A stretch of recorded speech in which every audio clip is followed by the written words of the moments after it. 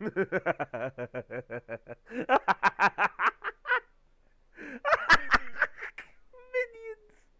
Oh, for fuck's sake, Disney!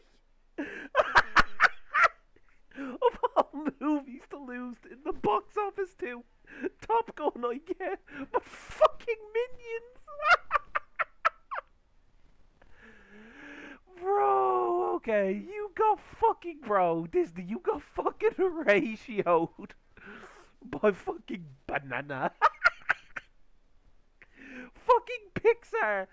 Pixar fucking like they're graphically when it comes to movies, Pixar Pixar's Lightyear is where it's at when it comes to graphics and you get ratioed by fucking Gru.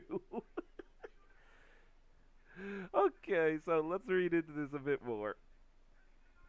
So the families of the world voted with their dollars, as uh, usual and Minion, the Minions box office absolutely destroyed and embarrassed. Uh, fucking ratio. You got fucking ratio, Disney.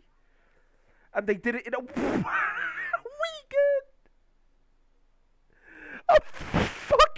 weekend. Oh my fucking god. A fucking weekend. God Almighty.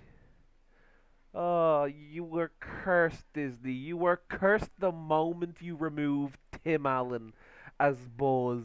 Cursed. Oh my god. So what else we got here? Okay, I'm gonna try and take this seriously now. So Oh my god, oh my god, sorry, I was reading, I'm just reading into this and I just seen something that I like a lot. So, this particular uh, paragraph here, right, this particular one here has caught my eye, alright, so... So apparently here, Marvel, like this week, the thing that's coming up next is War and Thunder, or Love and Thunder, sorry and it seems to be another woke infested Kevin Feige mess similar to Doctor Strange to yeah Disney you're getting clowned on bro. What happened? Oh look like I always like to say you backed the wrong horse Disney. You went for woke culture. You thought this is where it was at. You thought that's where the future was. You backed the wrong horse. Always bet on red always bet on red. You shouldn't have bet on black. I know that sounds bad, but it's roulette.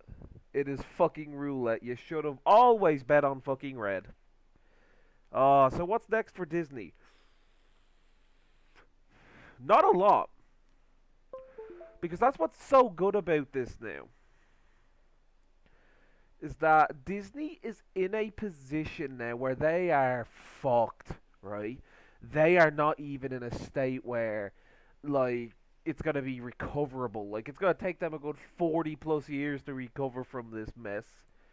And that's if you're lucky. It's like why Disney? See, this is what happens when you politic in your movies. You should have left it alone. you, should have said, "Oh yeah, we're gonna let people be people," but no. Are the box of? Oh Jesus! You got fucking. You got ratioed by Jurassic World. Elvis, the Black Phone, and well Maverick. Yeah, I seen that coming. Damn. Damn. You got fucking ratioed. Absolutely. Oh, there's comments. Oh. Oh my god.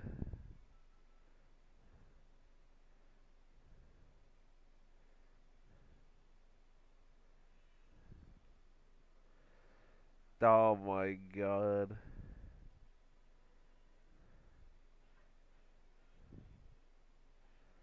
This is great. This is great. Uh, Disney's fucked.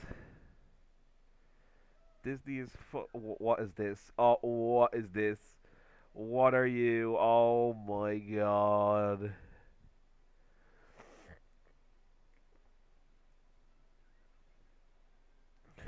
This is this this is oh my, oh my days.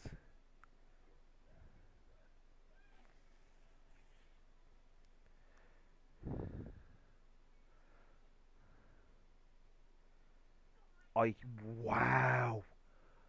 Oh my fucking god.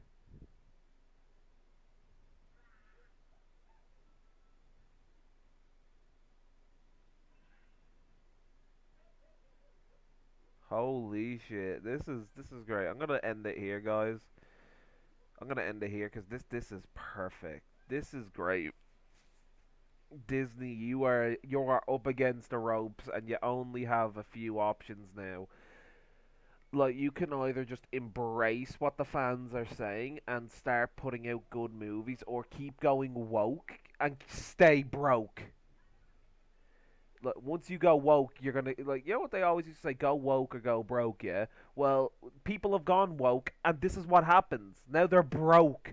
It's it's a lose lose. You were damned if you do, damned if you don't. And what have you learned? Don't fucking pander. Alright? This this is why your fucking Star Wars shit is failing. So what's the excuse now, Disney? Are the fans racist, homophobic, prejudice, whatever? Like what is it this week? Which uh which ism or phobic is it today? Because I'm very curious to hear what your fucking excuses are now. Because this is beyond the joke. I'm gonna